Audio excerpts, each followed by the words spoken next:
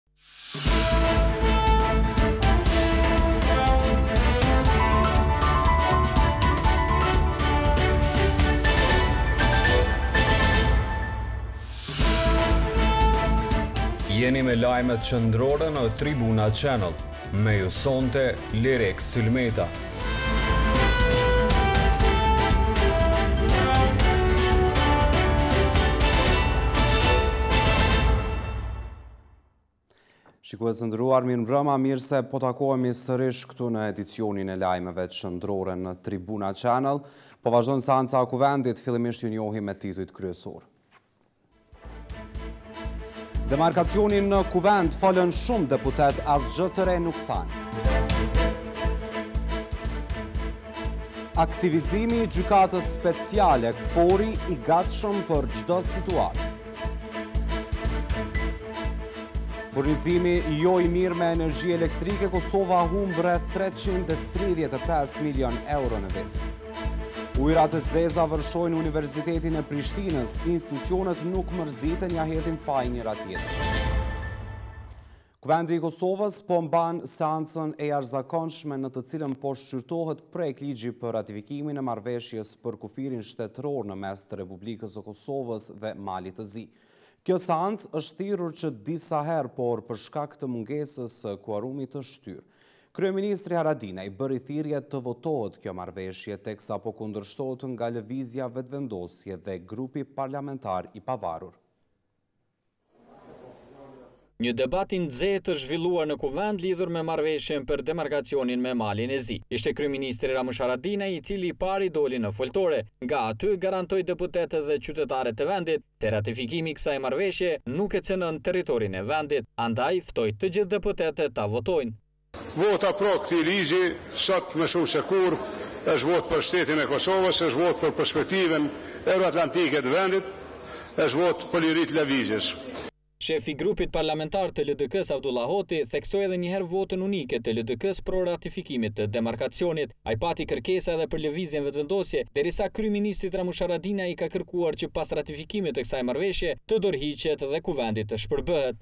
Një nga ata që nxiste dhunë sot është kryeministër, por ne nuk do ta sulmojmë atë, edhe pse kemi të drejtë morale për ta bërë këtë gjë. Për më tepër kësaj radhe si duket nuk ka as plan për të lejuar futjen e gazit lotsjellës në Kuvend, së paku deri tash.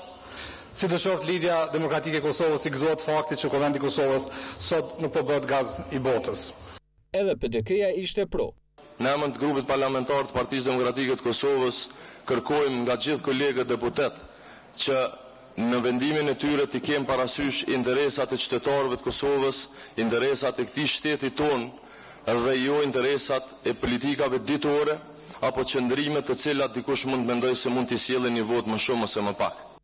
E ulësja dhe tavolina e kryeministrit u mbush me dosje me ngjyrë të kuqe. Këto janë peticionet me mijëra nënshkrime të mbledhura nga VV-ja e që kundërshtojnë demarkacionin. Shefi i grupit parlamentar, Glauk Konjufca, bëri një kërkesë për kryeministrin Ramush Haradinaj. I kemi sjellë këto nënshkrime për t'ia kujtuar kryeministrit me çfarë premtime ka ardhur në pushtet.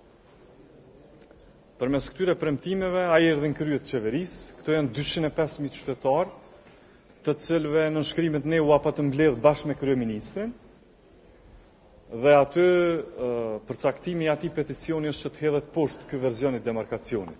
Kundër u shprehën edhe ish-partiakët e Konjufcës. E pro kësaj marrëveshje u shprehën Aleanca për Ardhmërinë e Kosovës dhe Nisma Socialdemokrate, si dhe minoritetet josërbe. Debati vazhdoi edhe më tej ku shumë deputetë patën rastin t'i shprehin qëndrimet e tyre përkitazi me këtë marrëveshje. Ndërsa tani shikues të nderuar do të lidhemi direkt nga Kuvendi i Kosovës, ku atje kemi gazetaren tonë Shqipe Pajaziti, e, cili, e cila do të na njoftojë me zhvillimet e fundit në seancën e jashtëzakonshme për demarkacionin. Presim, derisa Shqipja të jetë gati, përshëndetje Shqipe. Përshëndetje Lirik, përshëndetje për juve dhe për gjithë shikuesit e televizionit Tribuna. Ashtu siç përmende edhe ti, ndodhemi këtu në hollin e Kuvendit të Kosovës, ku ndërkohë po vazhdojnë punimet në sallën e Kuvendit të Kosovës, përderisa janë duke vazhdu, është duke vazhduar realisht debati ndërmjet deputetëve të Kuvendit të Kosovës.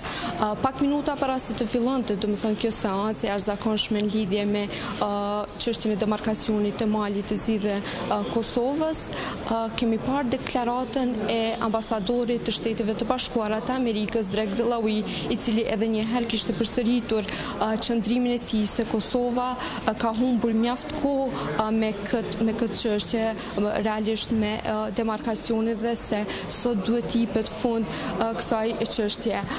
Ai ka përmendur që nëse ai ka përmendur që nëse një ndonjë deputet nuk do shpreh edhe një herë pakënaqësitë e tij dhe nuk do të jetë pro votimit të kësaj të këtij kësaj seance, atëherë ata këtë gjë do ta bëjnë për shkak të çështjeve të tyre politike.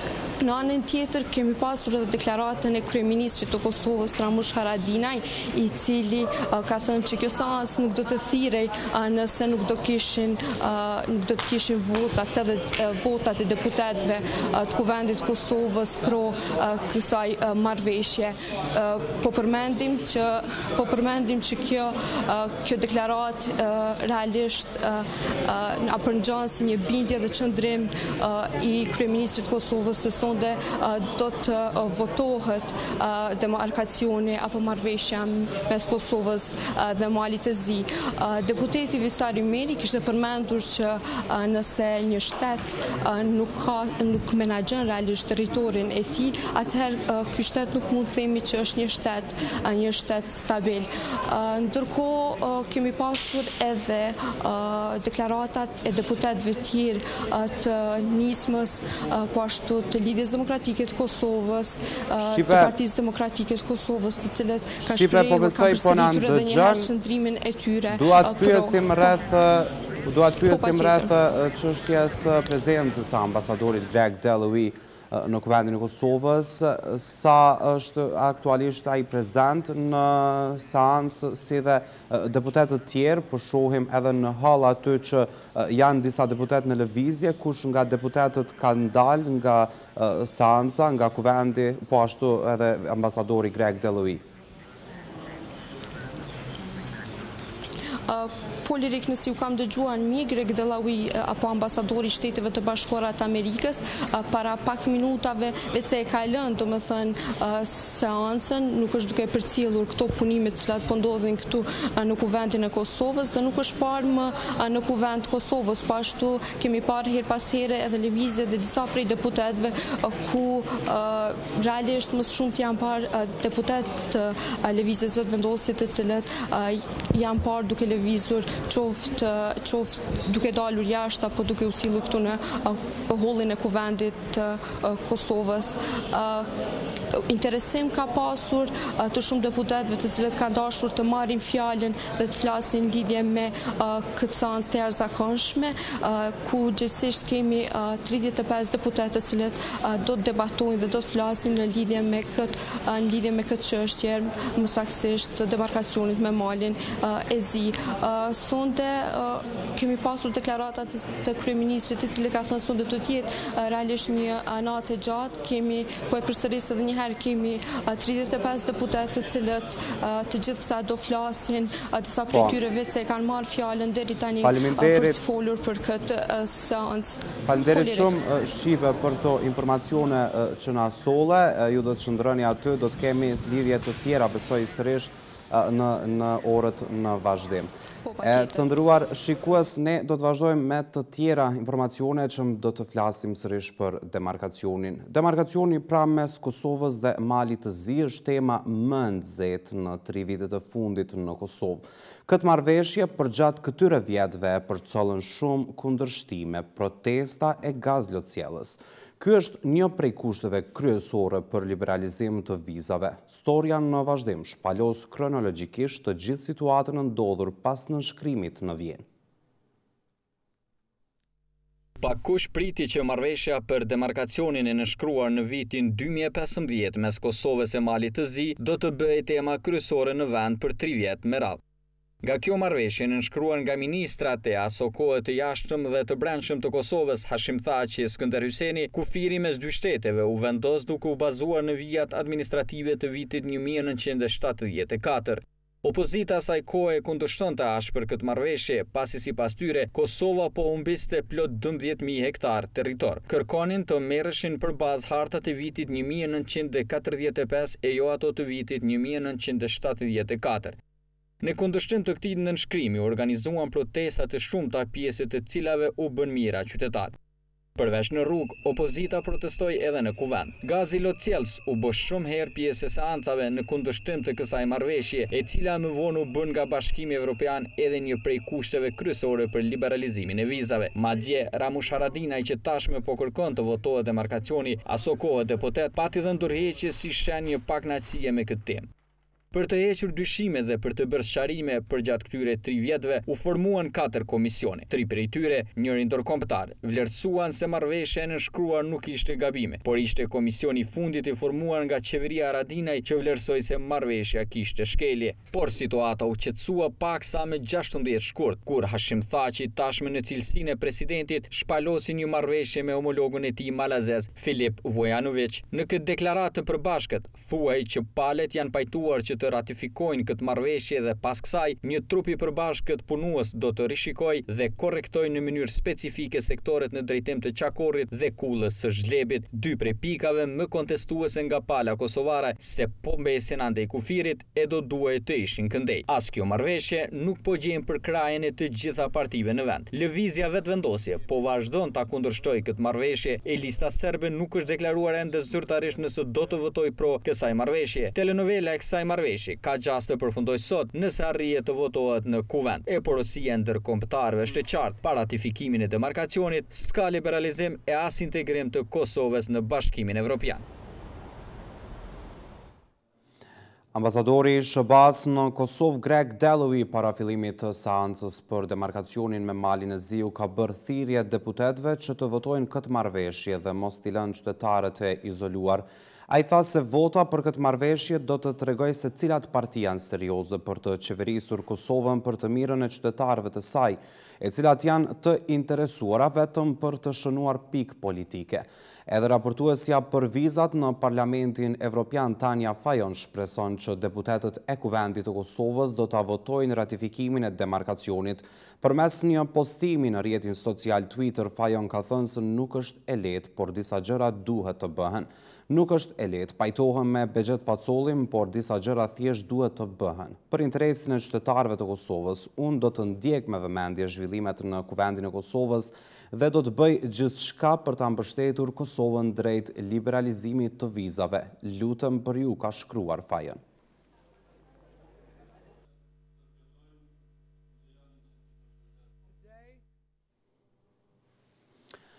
Kosova po del të ketë problem edhe me zbatimin e marrëveshjes së stabilizim asociimit. Shefja e Zyrës së BE-së në Kosovë, Natalia Apostolova, tha se moskoordinimi mes institucioneve po paraqet problem në zbatimin e kësaj marrëveshjeje. Ftoi të gjitha institucionet që të angazhohen në përmbushjen e obligimeve që dalin nga marrëveshjet ndërkombëtare. Moskoordinimi mes institucioneve vendore paraqet problem në zbatimin e marrëveshjes së stabilizim-asociimit. Kështu po thotë shefja e Zyrës së BE-së në Kosovë, Natalia Apostolova, e cila ritheksoi se ndihma për Kosovën do të vazhdojë edhe në të ardhmen. Ky projekt do të shërbejë për koordinim të tillë në praktikë. Një tjetër aspekt që rrit kompleksitetin e tij është karakteri i tij horizontal. Ashtu siç shumica prej nesh e kemi përjetuar nga administrata publike në vendet tona, e dimë se koordinimi në mes të ministrive dhe agjencive të ndryshme shtetërore është sfidë. E njëjta vlen edhe për Kosovën. Ky projekt do të shohë ku dhe si mund të përmirësohet kjo çështje. Ambasadori i Gjermanisë në Kosovë, Christian Heldt, paralajmëroi se institucionet kosovare do të kenë shumë punë dhe rrugë të vështirë. Sipas tij, qytetarët duhet të kuptojnë që integrimi në BE nuk është proces i lehtë dhe i shkurtër.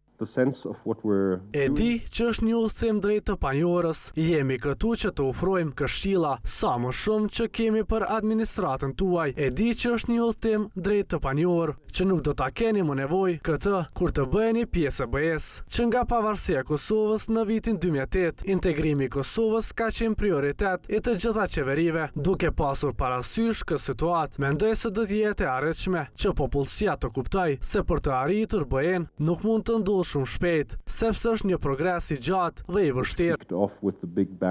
Demush Shasha nga Ministria e Integrimeve Europiane në Kosovë, tha se ky projekt ka për qëllim përmirësimin e politikave për miratimin e acquis të BE-së. Projekti në fjalë zbatohet nga një konsorcium, i cili përfaqëson tri shtete anëtare të BE-së, Ministrinë Federale të Gjermanisë për Çështjet Ekonomike dhe Energjetike, Ministrinë e Punëve të Jashtme dhe Europiane të Republikës së Kroacisë dhe Ministrinë e Punëve të Jashtme të Republikës së Polonisë. E vlera e këtij projekti kalon shifrën prej një pikë gjashtë milionë euro, ndërsa do të zgjasë deri më pesëmbëdhjetë qershor dy mijë e nëntëmbëdhjetë.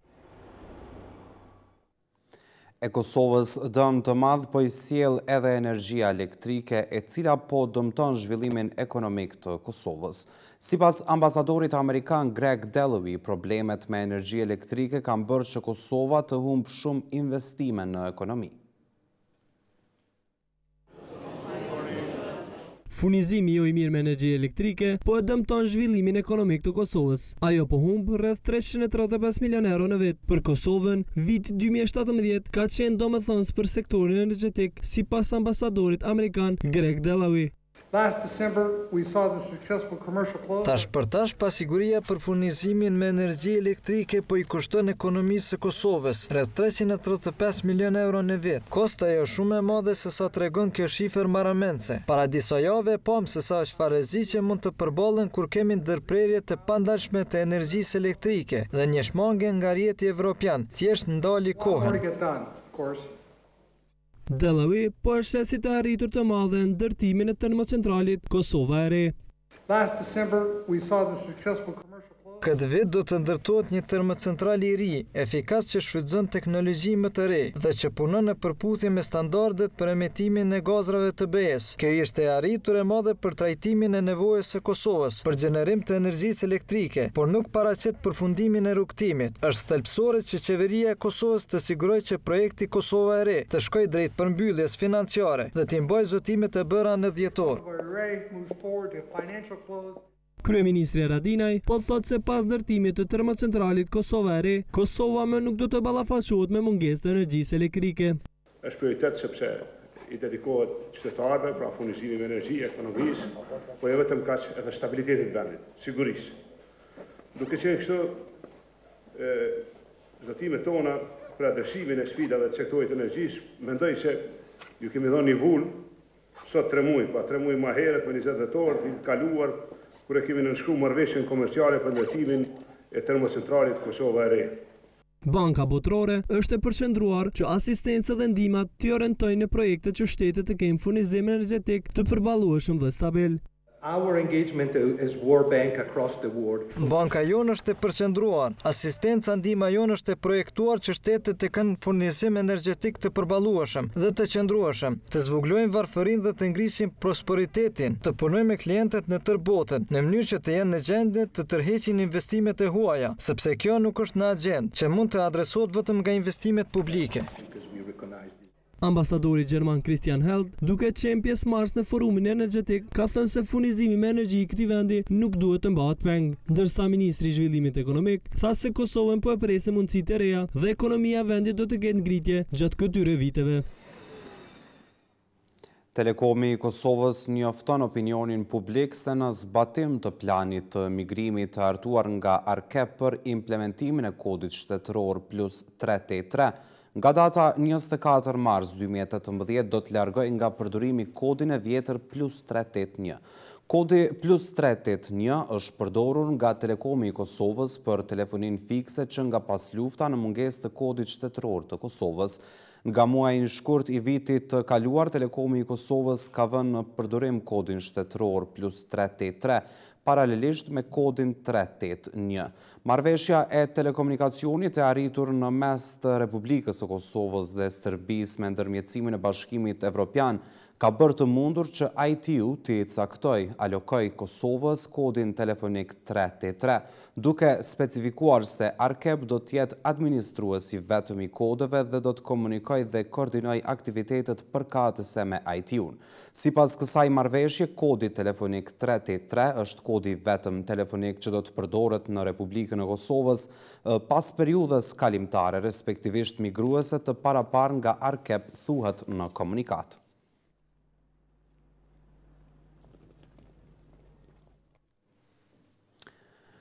Koloneli Nik Duçiq mori komandën e KFOR-it në Bondsteel. Ai është amerikan me prejardhje serbe, tha se ky mision ka rëndësi të veçantë për të, që komandon grupin shumëkombësh. Në rast të aktivizimit dhe arrestimeve nga Gjykata Speciale, ai tha se do të jenë të gatshëm t'i përgjigjen ndonjë trazire të mundshme. Roli i KFOR-it mbetet i pandryshueshëm në ofrimin e një ambienti të sigurt dhe lirisë së lëvizjes. Këtë po e garanton amerikani me prejardhje serbe, koloneli Nik Duçiq. Ai mori sot komandën e KFOR-it në Bondsteel. Ai zotohet se do të vazhdojë të mbajë joanshmëri, derisa do të punojë të mbështesë zhvillimin e një Kosove stabile të qetë për të gjitha palët e interesit në regjion. Ky mision ka një rëndësi të veçantë personale për mua. Unë jam oficeri i parë amerikan me prejardhje serbe, që komandon grupin shumëkombësh të betejës Lindje. Në rast të aktivizimit dhe arrestimeve nga Gjykata Speciale, ai tha se nuk janë pjesë e proceseve politike, por do të jenë të gatshëm t'i përgjigjen ndonjë trazire të mundshme. Ne nuk do të jemi pjesë e këtij procesi politik. Ne do të jemi të gatshëm t'i përgjigjeshim ndonjë trazire, të cilat do të kontribuojnë në ruajtjen e qetësisë dhe stabilitetit. E komandanti në largim, Michael Spraggins, tha se ndjehet krenar për punën që ka bërë në kuadër të KFOR-it, përfshirë bashkëpunimin me FSK-në dhe Policinë e Kosovës. Këto organizata të sigurisë demonstrojnë një angazhim të fortë për të kryer me sukses misionet e tyre, por gjithashtu për të përfaqësuar diversitetin dhe barazinë në një mënyrë që është shumë e lavdërueshme. Uroj që miqtë dhe partnerët tanë në FSK dhe Policinë e Kosovës të vazhdojnë suksesin në misionin e tyre të rëndësishëm këtu në Kosovë. E zëvendëskomandanti i KFOR-it, Janos Csombok, tha se ky ndryshim i komandës tregon përkushtimin e Shteteve të Bashkuara si një kontribues i manovrimit të KFOR-it. SHBA po vazhdon të mbështetë misionin e KFOR-it në shumë detyra udhëheqëse dhe me oficerë të tjerë të stafit në tërë spektrin e aftësive të KFOR-it. Flasim për probleme të tjera. Kampusi i Universitetit të Prishtinës kundërmon që shumë vjet. Problemi u tentua shumë herë të rregullohet, por nuk ia dolën. Secili fajëson tjetrin, ndërkohë studentët janë ata që më së shumti hasin në këtë vend që vështirë është i kalueshëm, veçanërisht kur ka të reshura. Oborri i kampusit universitar të Prishtinës është përfshirë nga ujërat e zeza. Jo vetëm tani, që shumë vite kjo pjesë që frekuentohet shumë kundërmon dhe shëmton pamjen. Siç shihni dhe pamjet pas meje, ne jemi vetëm pak metra larg Universitetit të Prishtinës dhe situata është mjaft e rëndë. Studentët këtu kalojnë çdo ditë nëpër këtë rrugë për t'iu drejtuar fakultetit. Pamjet tregojnë gjithçka vetë. Studentët flasin vetë për atë që përballen me të çdo ditë. Siç po shihet edhe vetë gjendja këtu nuk është e mirë hiç. Zakonisht verës vjen edhe era e keqe, aroma është shumë e keqe. Sa herë kaloj këtu është shumë keq edhe shumë vjen era. Këtu është problem shumë i madh, edhe për qeverinë edhe për studentët këtu është shumë problem. Kisha lutë me rregullu sa ma shpejt se shumë keq është. Ndoshta duhet me intervenu komuna për me përmirësu këtë gjendje se nuk duket mirë, po I kontaktuar nga Tribuna Channel rreth kësaj çështje, zëdhënësi i Komunës të Prishtinës, Adonis Tahiri, ka theksuar se ky problem për t'u zgjidhur është nën kompetencat e Kompanisë Rajonale të Ujësjellësit. E Sokol Xhafa, drejtor teknik i kësaj kompanie, në një përgjigje dhënë televizionit tonë, ka deklaruar se ky është një problem i kahershëm. Thotë se është ndërhyrë disa herë, por kurrë nuk është rregulluar si duhet. Aty është një kolektor shumë i vjetër, i cili është dëmtuar shumë gjatë ndërtimit ilegal të Katedrales Serbe brenda kampusit universitar. Gjatë këtij ndërtimi është dëmtuar dhe asnjëherë nuk është sanuar si duhet. Ne me ekipet tona ndërhyjmë shumë shpesh, por aty zgjidhja e vetme është ndërrimi komplet i kolektorit, për çfarë po mundohemi të koordinohemi me veprimet e Komunës së Prishtinës. Duhet të kemi parasysh që aty është pronë e Universitetit të Prishtinës dhe nuk mund të ndërhyjmë pa pajtim të gjitha palëve që duhet të përfshihen. Lidhur me këtë çështje prorektori në UP, Naser Sahiti, thotë se javën e kaluar kanë ndërhyrë nga Ujësjellësi Rajonal Prishtina, por që nuk është mundur të rregullohet komplet. Lidhur me problemin e ujërave të zeza, Universiteti i Prishtinës ka kontaktuar Kompaninë e Ujësjellësit Rajonal në Prishtinë për të sanuar këtë problem. Javën e kaluar, kompania ka dërguar punëtorët, por të njëjtit nuk kanë mundur të sanojnë gjendjen, meqë kanë konstatuar ka mbyllje të kanalizimit në ndonjë lokacion të caktuar. Gjetja e lokacionit të mbylljes kërkon gërmime të cilat nuk janë kompetencë e kompanisë së ujësjellësit, por të Drejtorisë së Infrastrukturës në Komunën e Prishtinës. Universiteti i Prishtinës do të kërkojë javën e ardhshme nga Komuna e Prishtinës dërgimin e një ekipe për sanimin e problemit me ujërat e zeza në kampusin e universitetit. Të gjitha institucionet e kontaktuara nga Tribuna Channel delegojnë fajin te njëra-tjetra. Komuna e Rahovecit ishte përfshirë nga reshjet e mëdha të shiut që kanë rënë gjatë ditës së hënë në disa vendbanime pati edhe vërshime. Përmes një komunikate dërguar mediave kjo komunë ka njoftuar se me të pranuar kërkesat nga qytetarët, zyrtarët kompetent kanë dalur në terren dhe po ashtu është kërkuar nga operatori i kontraktuar që intervenime emergjente e që të bëjnë deblokimin e ujërave dhe pastrimin e proçkave në mënyrë që të mos ketë rrezik nga vërshimet. Përparim Krasniqi, drejtori i Shërbimeve Publike, tha se pas kërkesave të qytetarëve kanë intervenuar në vendet ku ka pasur nevojë.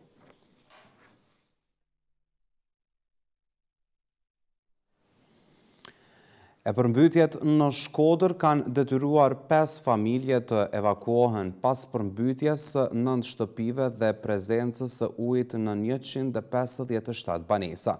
Ministria e Mbrojtjes në Shqipëri bën të ditur se në Obot kalohet vetëm me varka. Rrugët e fshatit Goricë janë të pakalueshme për automjetet.